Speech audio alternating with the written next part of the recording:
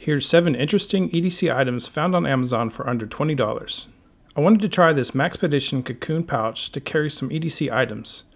What's cool about this pouch is the flexibility of it. What I'm keeping in here now is a ThruNite Archer Mini, an EDC Fans utility knife, a solid brass pin made by a Smoother Pro, a complete writing kit from Rite in the Rain, a Rite in the Rain mechanical pencil, and a Sharpie Pro job site marker.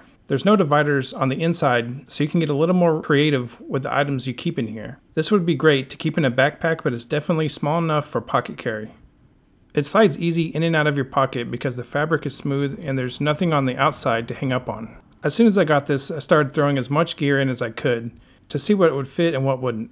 You can put a lot of items in here, everything seems to just settle in place. The open pocket is pretty forgiving. There's some pretty nice features that are included with this pouch. The base is made of a little more durable and extra layer of material. On the bottom side is some MOLLE webbing so you can get creative if you want to mount it somewhere. The webbing holes are kind of small so I would rule out weaving a belt through it. A strap on a backpack or hooking a carabiner through here would be a better fit. There's also an interesting clamp that opens on both sides. I heard these are common but this is the first piece of gear that I've owned with one.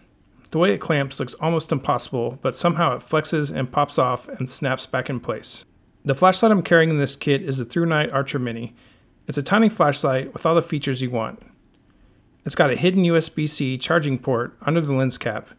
Just unscrew it when you want to charge it. This little light has three basic settings, low, high, and strobe. The high setting is 405 lumens, which is more than I would expect from a light this size. If you want to conserve the battery, you just run it on low at 18 lumens.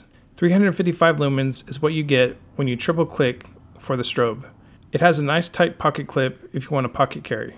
This EDC Fans utility knife is a heck of a bargain. At about $15, you get quite a bit of value for it. It comes with a lot of extra features. The knife itself has a lot to offer because it's really a multi-tool. It has an integrated bottle opener, a glass breaker, Phillips, and flat screwdrivers. The only negative thing I've found is that it takes two hands to slide out the blade. It's not a problem for me, but I know a lot of people prefer a one-handed slider. The blade lock is kind of quirky. It seems to only want to open when you push it up on both sides.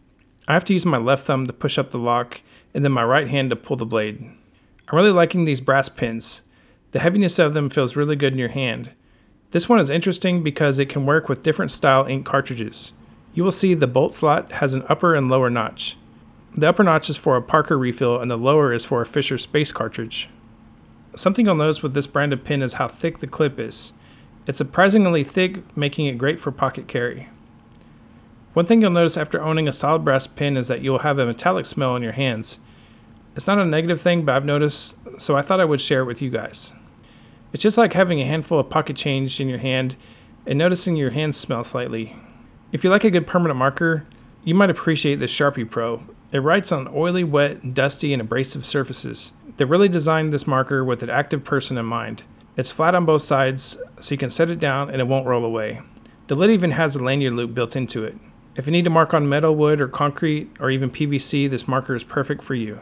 This one has a chisel point, but fine points are also available. If you need multiple colors, blue and red is also available. I was hoping to find a notebook to keep in this cocoon pouch. I'm keeping a the Rain mechanical pencil and a 3x5 notebook in this kit. The size of this notebook is the max width you could fit into this pouch. I'm glad Rite in the Rain makes these compact notebooks because there's not too many sturdy notebooks that will fit in this pouch. They make this really neat mechanical pencil that has extra thick lead. The 1.3 millimeter lead writes well in any condition and resists breaking. The grip area is a knurled metal, putting all the weight at the writing point. If you like drawing and sketching, you might appreciate this pencil. The thick lead blends easy and won't constantly break on you. You can also get lead refills in a pack of 12.